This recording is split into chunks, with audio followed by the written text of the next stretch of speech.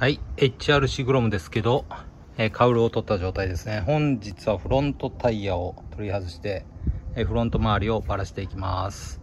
いや、いきなり走るんじゃなくて、もう全バラですよ。こっから一気に行きますよ。まずはですね、えー、ここのフロントブレーキをですね、取り外します。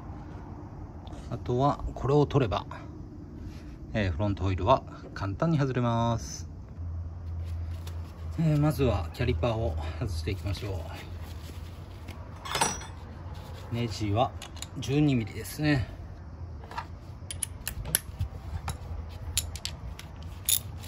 ラチェットレンチといったので外していきます。そんなに硬くは締まってません。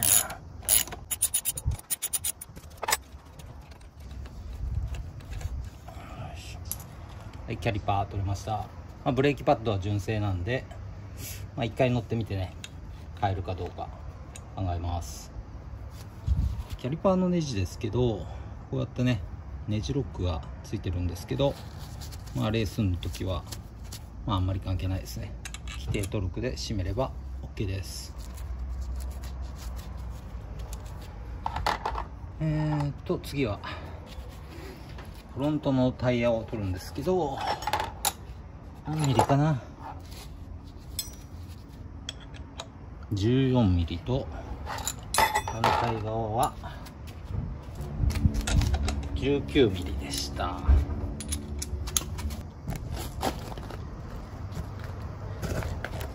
まあねこんな感じで、えー、一回緩みます。買ってさすが。さすがのクロム。めちゃめちゃ硬いっす。グロムはね鬼トルクでしまってるって聞きましたけどほらもう緩まない。えー、緩まないんで超長いレバー持ってきました。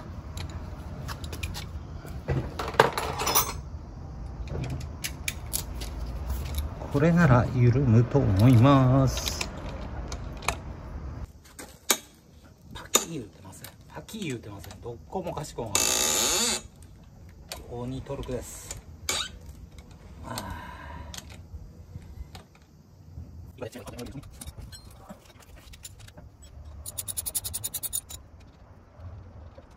まあ取れましたけど、まあ、今は仮で、えー、緩めておくだけでいいです、えー、あとはね、えー、フロントフォークステム周りをメンテするかどうか考えます。それではですね次フロントフォーク外すのにここの3本外したらねまずボッと、え抜けるんですけどまず仮緩めしましょうかね、え六角普通の六角レンチですね。そこまでじゃないですね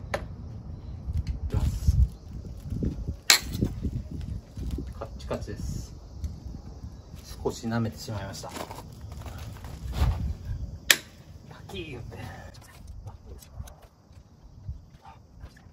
フロントのスタンドをね、えー、かけてタイヤを取っていきましょう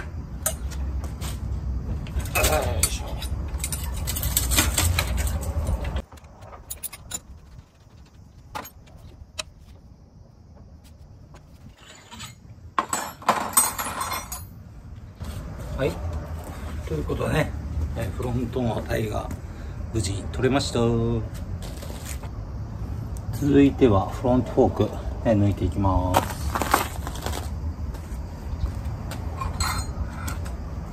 まあさっき緩めてあるんでね、え簡単に取れると思います。ちょっと角度的にめんどくせえ向きにな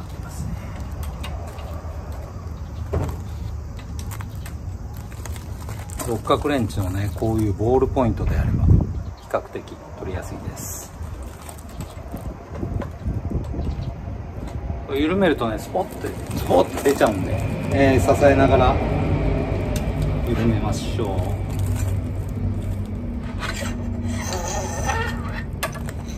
はいフロントフォークが取れました。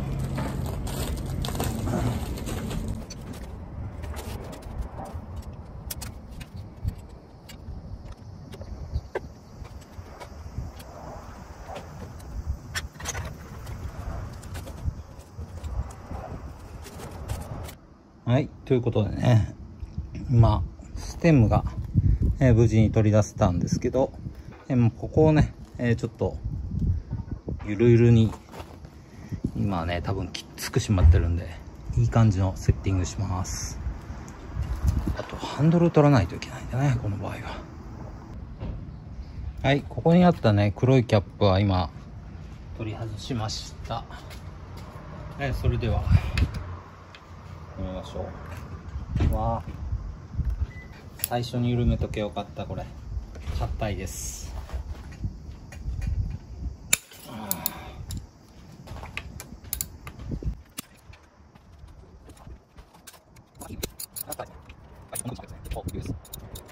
まあ、A 住んでる時はねこのハンドルも変えなきゃいけないんで、えー、そのうち買います。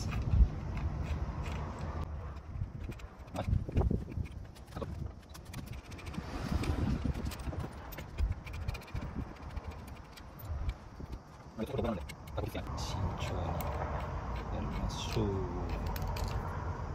おっと取れました。この感じですね。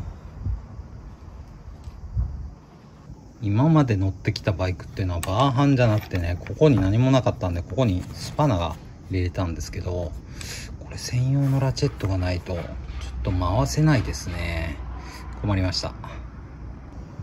今ここのね真ん中のネジの大きさを測った 29mm ですね。のしおはそんな大きなソケットは持っていません。さあどうしましょう。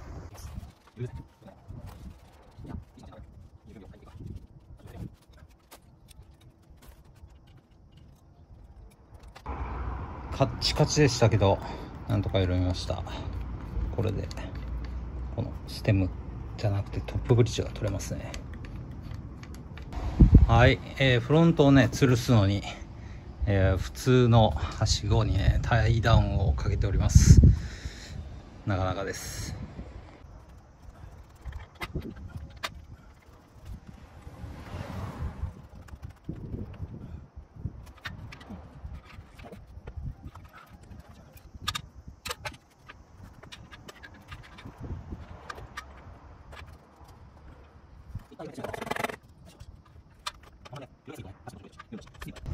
この動きがスムーズじゃないんで、うん、っていうところですね。えー、ステムの整備が終わったので、これね、バトルのハンドルストッパーつけます。純正のハンドルストッパーこうですね。どうやってつけるんだろう。は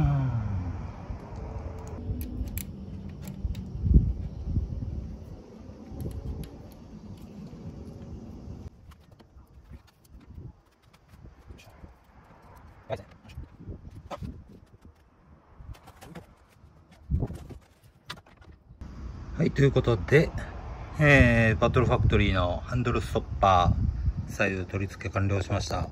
これでね、まあ、ハンドルの切れ角がここがここだけこれだけあったんですけどレースでは必要ないんでほんの少ししか余裕がない状態です、まあ、こんな感じ。はいフロントの整備完成です。どうですか？いいね。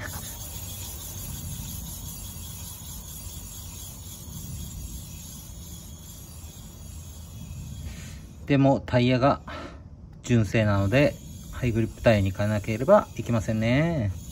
ということで、今日はここまでで終了です。